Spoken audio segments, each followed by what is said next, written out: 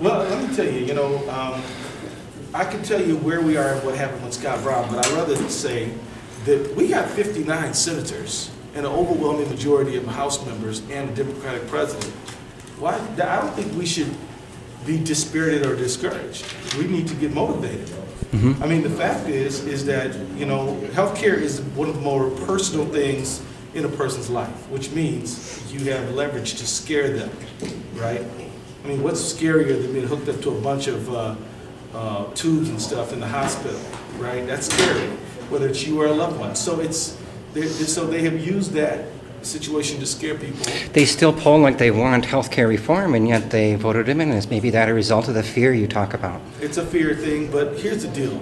You know, uh, I think that there have been problems. I mean, look, this whole economic crisis is rooted in the foreclosure crisis and in subprime lending. Yet, the United States Congress, including the House and Senate together, have yet to put a bill on the president's desk to address predatory lending. Can you imagine that? I mean, it's almost inconceivable. But it's true. It's because moneyed interests who like the status quo won't won't uh, won't relent. And we've got to just muster. But the big Wall Street guys are giving out bonuses and big time compensation, and we're bailing them out because of their impact on the whole economy. But we've yet to deliver any real reform for ordinary citizens, other than the credit card reform, which is good, and some other things like that. But you know, everybody was slow to the game. And Where do you wish to do then in this remo- in this respect? Well, I, I want to pass a uh, consumer financial protection agency that will make uh, financial products uh, the same, uh, put them in the same category as a toaster.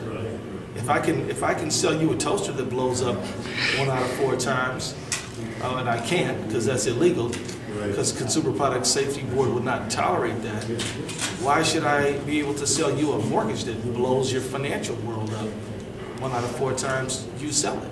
Do you understand my point? It seems like corporations are quite empowered these days with the Supreme Court ruling this week. It Yeah, seems they're like gonna pour more money in, and uh, they're just gonna exacerbate the deep tensions in our economy. You know, and I'm gonna tell you this, you know, we gotta understand, in 1937, the conservatives in the Roosevelt administration convinced him to do, do, all- to stop spending government money.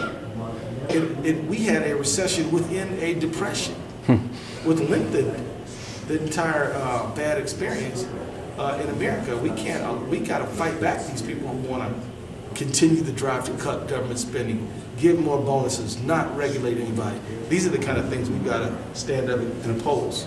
So, I don't know where Representative Waters should be here. Thanks. I know she's on her way. But anytime, you know, we, this is my favorite subject, so we can talk about this stuff.